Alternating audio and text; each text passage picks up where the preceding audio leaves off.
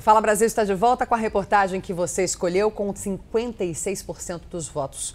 É sobre o motorista que flagrou o momento em que um caminhão desgovernado bate no canteiro de uma rodovia no sul do país. É, mas o que parecia ser um acidente de trânsito provocado por um motorista bêbado era, na verdade, um drama. O caminhoneiro havia acabado de ter um AVC, acidente vascular cerebral.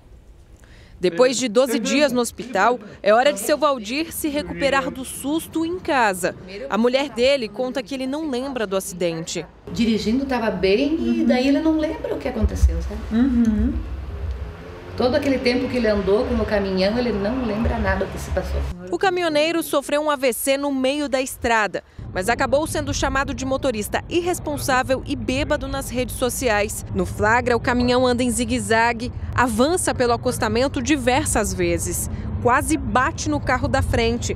Na descida, em alta velocidade, atinge a vegetação. Quem grava pede ajuda.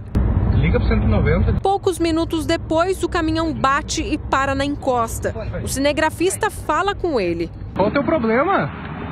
Quase matou cinco caras na estrada, tia. Quase me matou.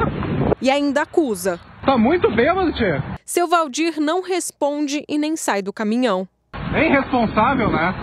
A família não descarta uma ação judicial contra o autor do vídeo. Fiquei triste com o rapaz, que, o, o que ele falou, né? Uhum. Porque ele não bebe. O AVC não avisa. A pessoa não começa a ter sintoma leve e vai piorando. Normalmente é um sintoma súbito. De um minuto para o outro a pessoa tem um negócio. Os sintomas são fala enrolada, boca torta, paralisia ou fraqueza em um dos lados do corpo. É preciso ser rápido. 80% das pessoas que sentem pelo menos dois destes sintomas estão sofrendo um AVC. Idosos, hipertensos, diabéticos, portadores de doenças cardiovasculares e obesos são considerados grupos de risco.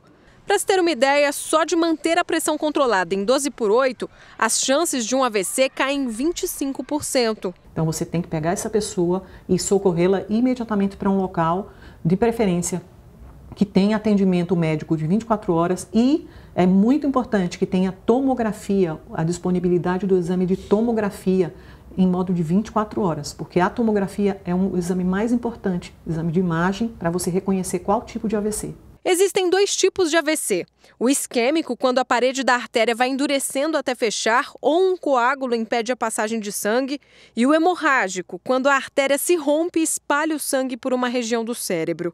Para cada tipo, há um tratamento. Uma em cada seis pessoas terá um AVC em algum momento da vida, segundo a Organização Mundial da Saúde.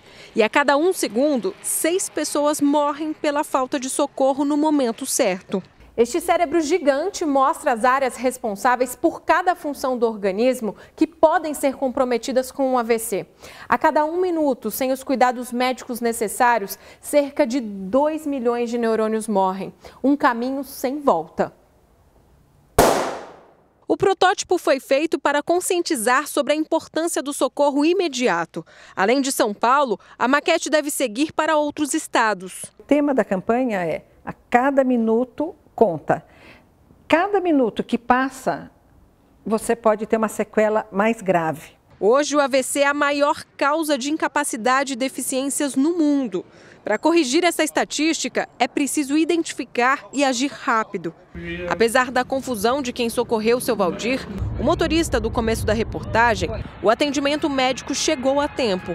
Ele ficou com a fala comprometida e vai passar por sessões com uma fonoaudióloga. Eu disse foi Deus que botou a mão ali. Uhum.